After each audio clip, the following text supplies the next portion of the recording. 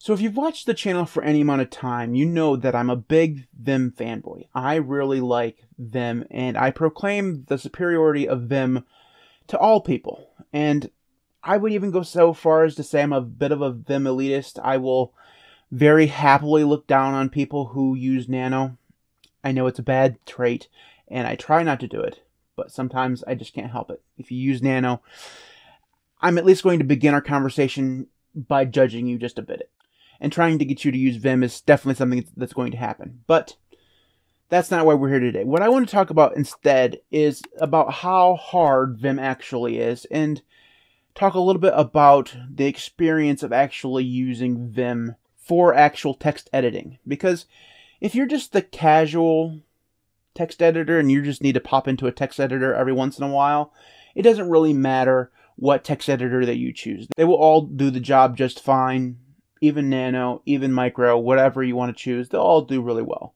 And for the most part, you'll get into those programs, you'll edit your text, you'll leave, and you won't think about it again. But for people who actually spend their time in a text editor, the choice of text editor is a very personal choice. And I think that that is because you just spend so much time in it that it really does impact your workflow. How the text editor moves around, how it flows through your workflow is just so important.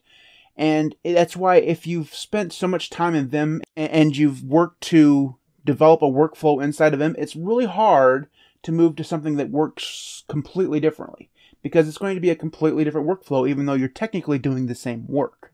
You know, so the choice of text editor is very personal for a lot of people, and that's one of the reasons why you have Vim fanboys. It's why you have Emacs fanboys. It's why you have people who really enjoy things like VS Code and stuff like that. And those types of people are very proud of their accomplishments inside of those text editors. So if you've watched any number of Vim videos on YouTube, you will find a lot of people who are very proud about their ability to use Vim very well, right? Same thing with Emacs. If you've watched people who use Emacs uh, in their YouTube videos, you'll see that they're very proud of the stuff that they can do inside of Emacs. And some of that pride is earned, right? Because at the end of the day, Vim is kind of hard once you get past the basics. Vim Tutor is fantastic and it will teach you all the basic stuff that you'll ever need to know. If all you ever know is the stuff that comes out of Vim Tutor, you're going to be just fine. There's quite a bit of stuff in there that's really good. It's when you want to expand past that that you find that Vim is pretty complicated because there's just a ton of different ways of doing things. And there's not really one way that's necessarily better than the other, but if you want to do something in Vim, there's probably 10 ways of doing it. And that's a conservative number, probably, simply because there are multiple combinations. Like if you want to skip forward five words, you know, there's at least three ways of doing that. If you want to select those words, you know, there's another three ways of doing that or whatever. Uh, and then if you want to do other things with that text, like capitalize each word in that sentence or whatever, you can do that. And that takes another uh, amount of key bindings or another uh, set of keystrokes. You know, it, it's just one thing right after another, and that's just one set of text, and it could be literally any number of things, you know, from macros to jumping around between search terms, whatever. So Vim is very complicated once you get past those initial steps.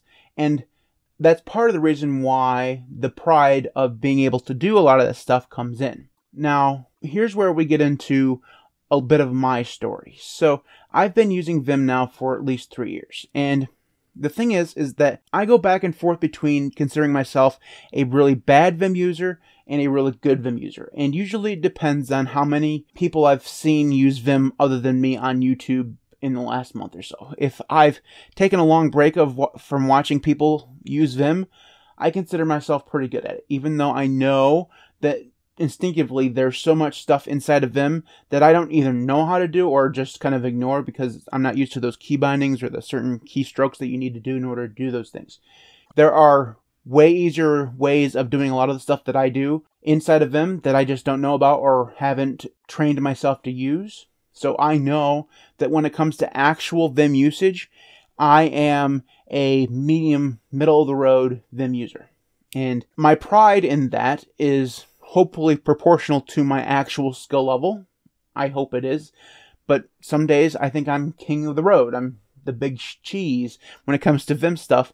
And I know that I'm not really, but some days I act like that. On other days, and usually these are the days where I've gone searching for like the Primeagen or any of the other Vim users on YouTube and watched them use Vim. And I'm like, man, I don't know shit about Vim. and that's the thing about Vim is that there's always going to be someone better than you. Always. It doesn't matter if you've used Vim for 20 years um, or, you know, Vi before that or whatever. You know, if you've spent a couple decades in this ecosystem and you consider yourself a really good Vim user, there's still going to be someone out there who knows more than you about Vim and how to do things that you don't know how to do. And that's the problem that I have with Vim. I consider Vim fantastic, but is the most emasculating piece of software I know of. Because if you think yourself good at something and then to find yourself that you're not actually that good at it, it can hurt a little bit. Now, a lot of that is probably good for you because it bursts your pride and bursts your ego and makes you realize, hey, you really don't know everything. Surprise, surprise. But on the other hand, it makes you feel like you're never going to perfect your use of that program. And I think that that is a feeling that a lot of Vim users have. You just realize that you may know a lot about using Vim, but you don't know everything, and you're never going to know everything. You're never going to get to that point where you know how to do everything inside of Vim. Now, I'm sure that there are Vim experts out there that say, well, I know pretty much everything about Vim, but those people are going to be very, very rare. The most normal Vim users who have used it for a long time, you're going to have a set workflow of things that you know how to do right? The, the just the stuff that you need to know. That's the stuff that you probably know.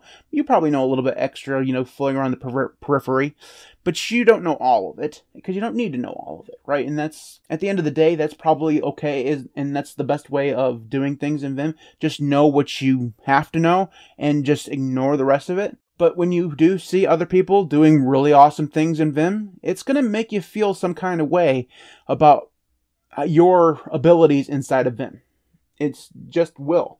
And I mean, some people probably say, well, you know, I don't really care. It's just a text editor.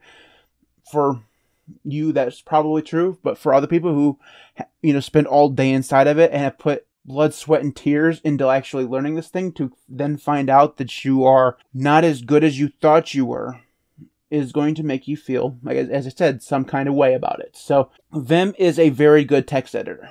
But my point in making this video is to allow people to realize that what you know about Vim is good and it's good enough.